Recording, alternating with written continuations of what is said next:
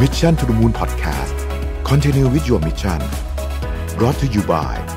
สีจันแป้งม่วงเจนทูคุมมันนาน 12 ชั่วโมง ปกป้องผิวจาก PM 2.5 อัปเกรดเพื่อผู้หญิงทุกลุกสิ้นสุดการรอคอยกับ Back on Track Planner สมุดจดรุ่นใหม่ปี 2021 จาก Mission to the Moon ผมอยากชวนทุกท่านกลับมาจดบันทึกชีวิต เปลี่ยนตัวเองให้กลับมาดีที่สุดทำสิ่งนี้ไปพร้อม ๆ กัน Back on Track สู่เส้นทางที่คุณอยากได้ สามารถดูรายละเอียดได้ในเว็บไซต์ของ Mission to the Moon ขอบคุณครับ สวัสดีครับยินดีต้อนรับเข้าสู่ Mission to the Moon Podcast นะครับ คุณอยู่กับรวิทย์หานุสาหะครับ วันนี้ผมเอาบทความหนึ่งมาจาก Medium นะครับ ชื่อว่า Three Reasons Why Writing Every Day Will Make You a Better Person นะครับ จริงๆต้องบอกว่าตอนเด็กๆเนี่ยเราใช้การเขียนเยอะนะฮะพวกการบันทึกต่างๆนะครับ แต่ว่าพอจบแล้วเนี่ยจบจากการเรียนเนี่ยนะครับ เราก็ไม่ค่อยได้ไม่ค่อยได้เขียนอะไรเท่าไหร่คือบางบางสายงานนี่แทบจะไม่ได้จับปากกาเขียนอีกเลยเนี่ยนะครับเอ่อประกอบกับอุปกรณ์สมัยนี้มันก็อำนวยให้เราเลือกทางอื่นแทนการเขียน เพราะว่าอาจจะง่ายกว่านะครับ เช่นการพิมพ์ที่มันบันทึกเสียงอะไรอย่างเงี้ยทำให้เราเนี่ยก็ห่างหายจาก การเขียนไปเยอะพอสมควร หลายท่านที่ติดตาม Mission to the Moon คงพอทราบว่าตัวผมเองเป็นคนที่ค่อนข้างจะชอบเรื่องเกี่ยวกับการเขียนจริงชอบเป็นคนชอบเครื่องเขียนนะฮะก็เลยพยายามจะหาข้อดีของการเขียนเนี่ยมาเล่าให้ฟังครับว่าการเขียนช่วยให้เราเดีกว่าเดิมได้ยังไงนะฮะหรือว่าช่วยเราพัฒนาเรื่องอะไรบ้างนะครับผมไปเจอบทความหนึ่งชื่อว่า three reasons why writing every day will make you a better person นะฮะ ของเจฟกอยน์อยู่ในมีเดียมนี่แหละนะฮะเขาบอกว่าทำไมการเขียนเนี่ยถึงจะช่วยให้คุณเนี่ยเป็นคนที่ดีขึ้นนะครับสามเหตุผลนะครับ เหตุผลที่หนึ่งเนี่ยมันคือเรื่องที่แบบตรงไปตรงมามากก็คือการเขียนเนี่ยเป็นการสร้างวินัยชนิดหนึ่งพอเราเขียนทุกวันปุ๊บเนี่ยเราจะเราจะติดฮะแล้วก็เราจะรู้สึกว่ามันมันมันต้องทำอยู่ตลอดนะครับเขาก็เปรียบเทียบเหมือนกันเรื่องกีฬาแหละมันก็เป็นสิ่งที่ต้องฝึกฝน การเขียนนี่ก็เหมือนกันนะครับ คือ การเขียนเพียงไม่กี่นาทีต่อวันเนี่ยช่วยสามารถสร้างวินัยให้เราได้เหมือนกับการออกกำลังกายเลยนะครับ แล้วก็เวลายิ่งเขียนเยอะเท่าไหร่เนี่ยไม่ว่าคุณจะเขียนเรื่องอะไรก็ตามอาจจะเป็นไดอารี่ส่วนตัวจะเป็นเขียนบทความหรืออะไรอย่างเงี้ยมันช่วยให้ความคิดเราเนี่ยตกตะกอนมากขึ้นด้วย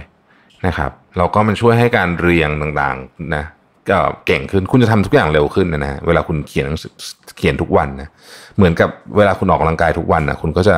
แข็งแรงขึ้นนั่นแหละฮะทำนองเดียวกันเเหตุผลที่สองนะครับการเขียนประจำวันทำให้คุณฉลาดขึ้นโดยเฉพาะการเขียนด้วยมือนะนี่มีงานวิจัยเลยนะฮะมีงานวิจัยหลายงาน ที่พูดถึงเรื่องนี้บอกว่า การเขียนด้วยมือเนี่ยจะเพิ่ม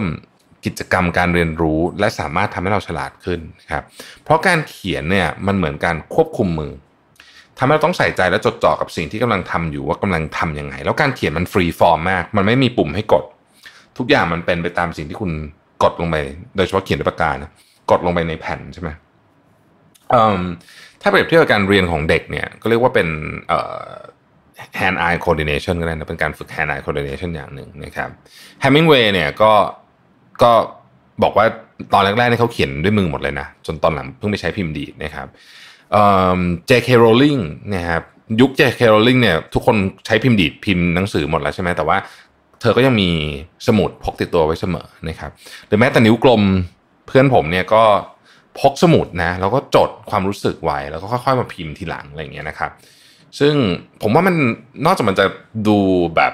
เอาจริงๆนะดูรู้สึกว่ามันคลาสสิกมาก แล้วก็เราก็รู้สึกว่าเวลาได้จดปากกาเวลาเขียนเนี่ยผมก็จะมีปากกาหมึกที่เราชอบเช่นสมมติผมชอบเขียนหมึกซึมเนี่ยนะฮะก็เขียนด้วยปากกาหมึกซึม แล้วก็ค่อยๆเขียน บรรจงเขียนเดี๋ยวนี้บรรจงมากขึ้นสมัยก่อนเขียนลายมือวัด แล้วก็มีปัญหาอ่านไม่ออกอ่านลายมือตัวเองไม่ออกพอได้เขียนก็เขียนเนี่ยก็ก็รู้สึกว่าเออเฮ้ยมันเป็นกิจกรรมที่ผ่อนคลายนะเราได้เหมือนกึ่งๆ ได้ทำสมาธินิดๆด้วยนะครับ ในบทความนี้ยังได้กล่าวอีกว่าเหตุผลที่นักเขียนจำนวนมากประสบความสำเร็จ ก็เพราะว่าพวกเขาได้เขียนสิ่งต่างๆ ลงในไดอารี่หรือบล็อก เป็นเหมือนการถ่ายทอดความคิดออกมาอย่างเป็นรูปธรรมมากขึ้น เมื่อมีการถ่ายทอดความคิดอย่างเป็นรูปธรรมมากขึ้น ความคิดมันถูก จัดวางระเบียบจัดวาง structure มากขึ้นนะครับ ช่วงแรกมันจะยากนิดนึงนะครับ แต่ว่าพอคุณทำไปเรื่อยเนี่ยคุณจะเริ่มสังเกตตัวเองว่า ความคิดของคุณเนี่ยมันจะมีระเบียบมากขึ้น การมีระเบียบสำคัญนะครับ เพราะว่าการที่คุณจะใช้เอาความคิดมาใช้งานได้มีประโยชน์เนี่ย มันต้องมีระเบียบก่อนไม่งั้นคุณจะไม่เข้าใจความคิดของตัวเอง มันจะงงไปหมดมันจะสับสนไปหมดนะครับ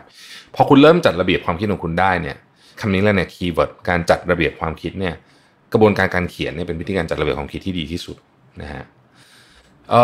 เหตุผลที่สามก็คือว่าการเขียนประจำวันช่วยให้คุณรู้สึกถึงความสำเร็จมากขึ้นนะครับ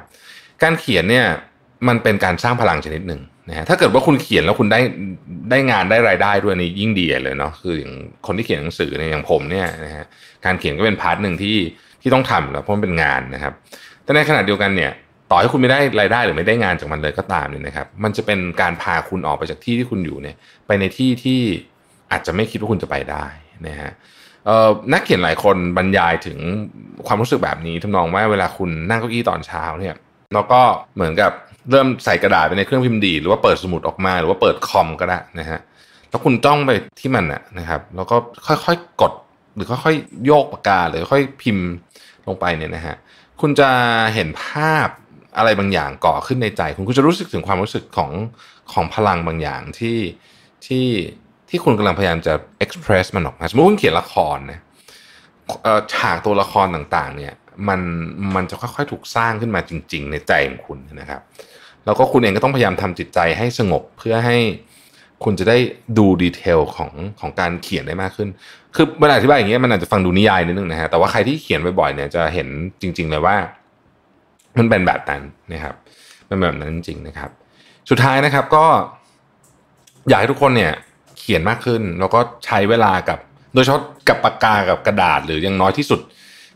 ปากกาดิจิตอลก็ยังดีเนี่ยนะผมว่านะครับมันช่วยจริงๆนะฮะเรื่องเรื่องจินตนาการเรื่อง imagination เรื่องของ creativity ต่างๆนะครับสุดท้ายก็ขอไทยอินหน่อยนะฮะ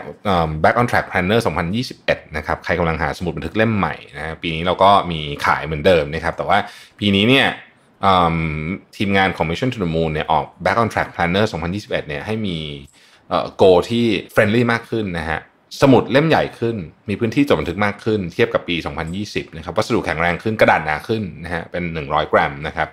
แล้วก็มีกิมมิคที่ friendly มากขึ้น ให้มันสอดรับกับสถานการณ์ที่ผมเชื่อว่าในปี 2021 เนี่ยก็คงจะเป็นสถานการณ์ที่ยังยังคงต้องอาศัยแรงบันดาลใจในการขับเคลื่อนชีวิตเยอะเหมือนกันนะครับ ใครสนใจเข้าไปสั่งซื้อได้ที่ mission to the moon co shop นะครับแล้วก็หรือคลิกในลิงก์ใน description ของ EP นี้ก็ได้นะครับ ขอบคุณที่ติดตาม Mission to the Moon นะครับแล้วพบกันใหม่พรุ่งนี้ สวัสดีครับ Mission to the Moon Podcast Continue with your mission Presented by สีจันแป้งม่วงเจนทู